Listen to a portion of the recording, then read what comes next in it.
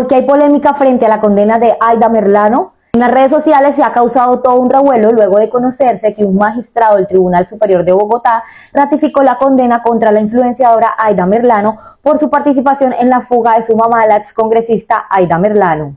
Según señaló el magistrado durante la audiencia, existen pruebas que demuestran que Aida Victoria Merlano Manzaneda tenía pleno conocimiento del plan de fuga de su mamá, por lo que la condenaron por los delitos de favorecimiento de fuga y utilización de mejores para la comisión de delitos.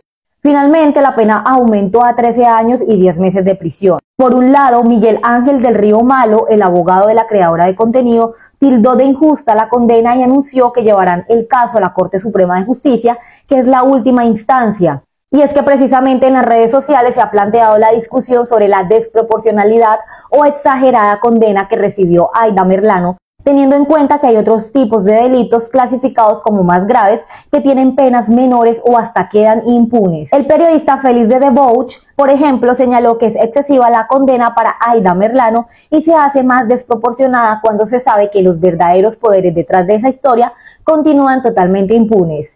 Por otro lado, hay quienes señalan que más allá de que si cometió delito alguno, la excongresista estaba pagando una condena y su hija Aida Merlano al ayudarla también cometió delitos por los que ahora debe pagar. ¿Ustedes qué piensan? ¿Están de acuerdo o no con la condena y sentencia entregada por el juez? En este caso, dejen sus comentarios.